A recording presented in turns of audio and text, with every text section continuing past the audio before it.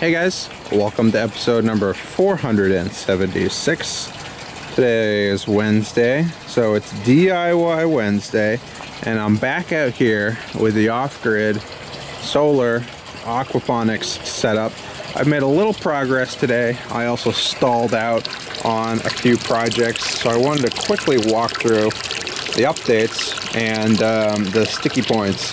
So, as we talked about last time, I needed to drill this barrel that has been done and right now we have a standpipe in there. I'm actually going to create the second bell siphon later tonight. It will be identical to this bell siphon right here. I'm super happy with the way this is operating. It's been going for two or three days now and it hasn't failed me yet. Um, last time I talked about that little DC pump that was doing super well it's still doing really well. As you can see, we've got the flow now split between this barrel here and this barrel here.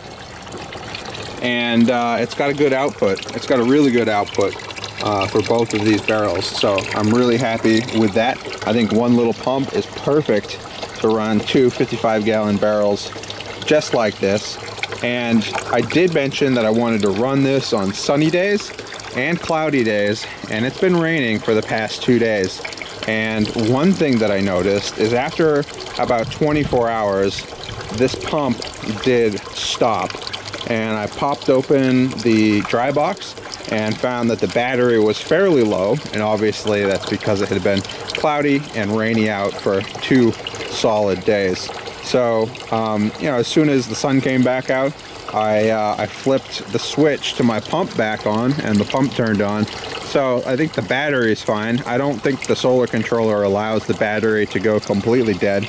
And uh, it was able to charge back up once the sun came back out and uh, everything's been fine uh, ever since. However, uh, that creates a little bit of a problem because if it is cloudy out or rainy out for two or three days at a time, uh, these pumps will stall out and I could get root rot in the plants that I decide to plant in here. But uh, that can be solved by just adding a second battery to the dry box. So I think right now I'm just gonna go with one battery, but if I notice it happening quite a bit, uh, I might invest in a second battery to completely solve that problem. Uh, other things that I've been working on, I wanted to add a fish feeder to the lip of this barrel to allow the fish to automatically get fed. And again, I was gonna run that straight off of the battery, um, but this is probably a, a, video for next week. I ran into one problem, which was uh, I didn't have a 12 volt to 3 volt uh, converter.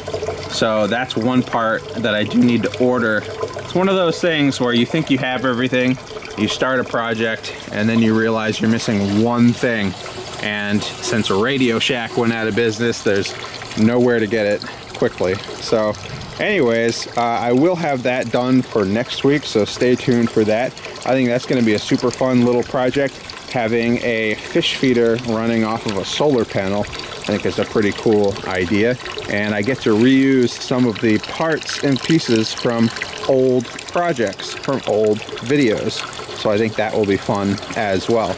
Now, in terms of the media, as I said last time, I had the Hydroton. This stuff is super expensive. Uh, this bucket, this barrel right here, is enough to fill just one of these containers. And it probably cost me 50 or 60 bucks just for this.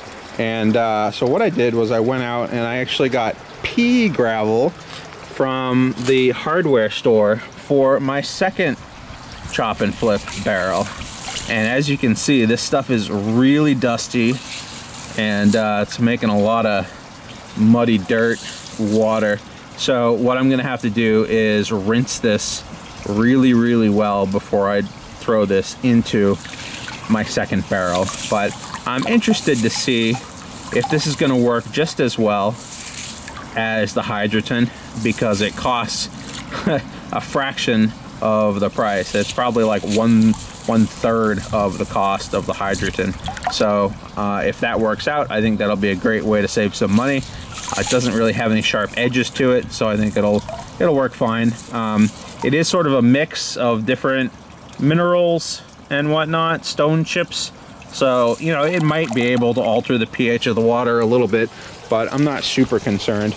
Uh, the biggest thing I'm worried about is just getting getting it rinsed really well before I put this uh, into the system because once it's in there and flooding and draining, if there's any residual mud, uh, it's just going to cloud the water forever and uh, it'll be impossible to get rid of. So I do have the goldfish to put in here. It has been cold out the last couple nights, so I'm gonna wait two or three more days until it starts to sort of permanently warm up here in order to bring those guys out. Hopefully by that time I'll have the fish feeder installed out here. I'll have all of my media in the beds and I'll be able to start planting. Anyways guys, it's getting kind of dark out. That's the update for this week on the Chop and Flip Aquaponics solar system. Super excited about this project and I really can't wait to get fish and plants in this system. Uh, I'm thinking it's probably going to happen as soon as this weekend. So definitely stay tuned for more and I'll see you guys later.